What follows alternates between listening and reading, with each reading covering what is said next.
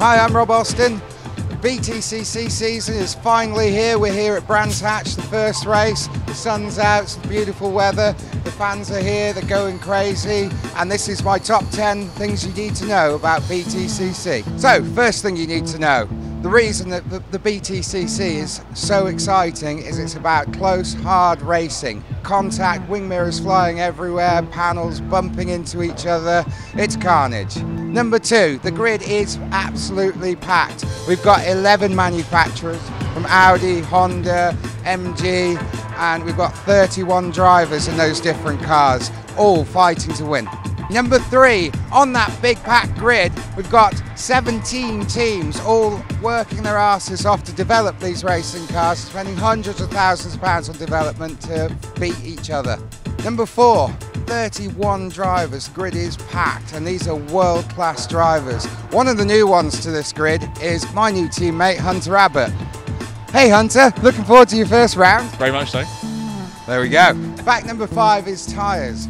Dunlop is the tyre supplier for the British Touring Car Championship, and this weekend they'll supply and fit over 580 tyres to the whole paddock. At the moment, they've all been fitted, so the guys are, are obviously flat out, sat around doing bugger all. Um, this is Mickey, he's in charge of Dunlop UK. How are you feeling about this weekend?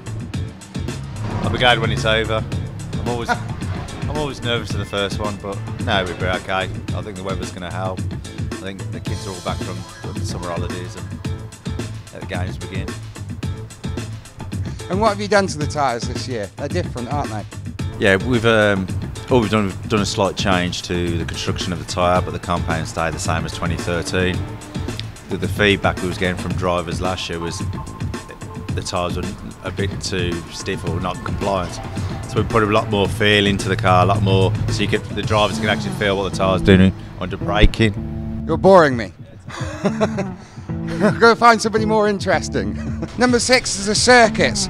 The BTCC is like a travelling circus. We go to nine different circuits over 10 rounds around the UK. First one being here at Brands Hatch, and we'll also come back here for the last round of the season for the championship finale.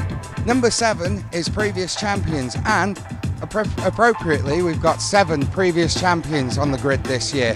One of which being Alain Menu, and we were going to disturb Alain, um, but unfortunately he's sleeping because he's an old boy and he needs his rest now.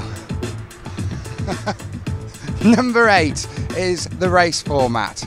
It's a, the way the BTCC format the races is makes it even more exciting. You qualify, that sets your grid for race one. Race where you finish in race one determines where you start race two. Race three, they'll pick a number out of the hat, and that could be anywhere between six and ten, and they'll reverse the grid, putting the slow boys at the uh, front and the quick boys at the back. Number nine. So the NGTC regulation stood for Next Generation Touring Car.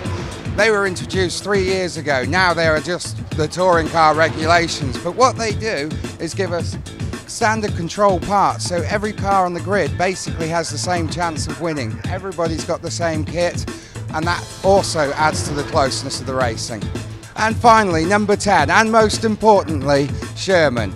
My NGTC Audi A4 British touring car. Flames always look cool, don't they?